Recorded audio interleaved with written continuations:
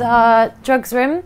Um, just been injecting some joints this morning, so I'm just stocking up on my joint injection drugs. Um, so as you can see, we have quite a lot of stock in this practice, and our drug bills are pretty scary each month. So, so yeah, we have a lot sitting on the shelves here. There's there's a lot of money in this just sitting on the shelves, and all this is stagnant. Obviously, people need to pay the bills in order to restock the um, the drugs cupboard.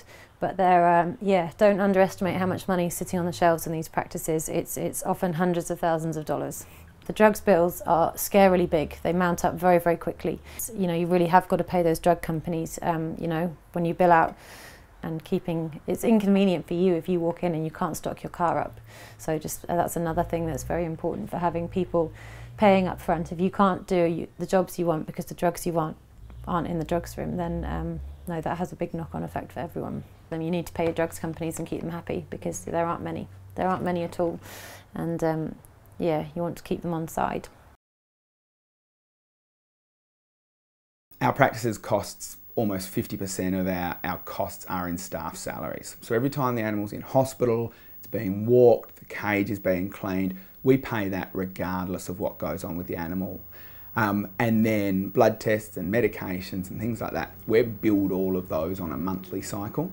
And so those costs are coming into us constantly. And so if we don't charge for that, not only are we not making any profit, we're actually losing money because we have to pay for the blood test even if it wasn't charged for.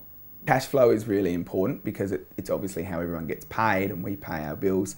So for most of our, our services, we're billed monthly. So the first of each month, we get a bill from our wholesalers, we get a bill from all of the electrical companies and the utilities and things like that.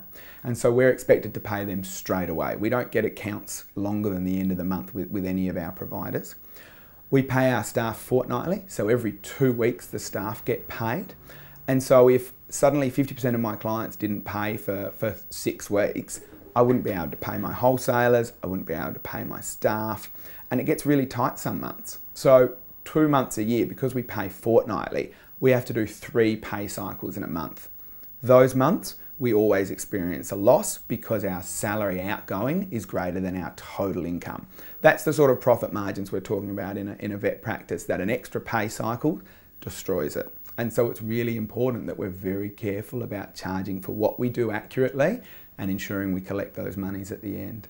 My practice that I worked in in England was very seasonal, so I worked um, at a big equine embryo transfer centre and also with um, polo ponies, so both very, very seasonal. For, so from February to October, we were absolutely flat out, and then it really quietened off, and you see um, the well the income um, basically two thirds of it disappears during the winter.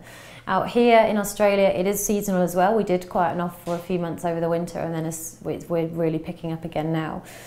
So out here, it's not. It's only for two months probably, so that doesn't have a big effect on the practice. In England, it did have a big effect on the practice, and we had to. Um, we actually spend a lot of time building up the winter work and moving into um, uh, other sports horse areas to try and build up the winter work so that it didn't fall off so much over the winter.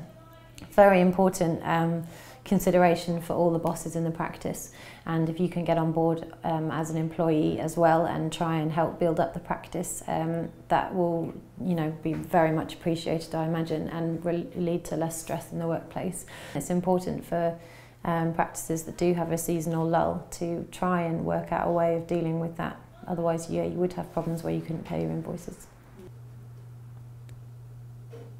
So what we do is we have a budget set for the whole year. So we look at, we know how much, and we always start off with staff because staff is our biggest expense. So we know how much our staff's going to be for the, the whole year, or we, we estimate how much it is.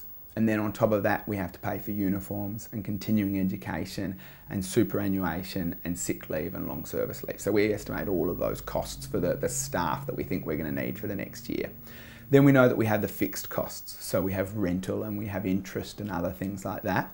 And then we have variable costs, which are cost of goods sold, so drugs and consumables and, and all of the things we use in surgery.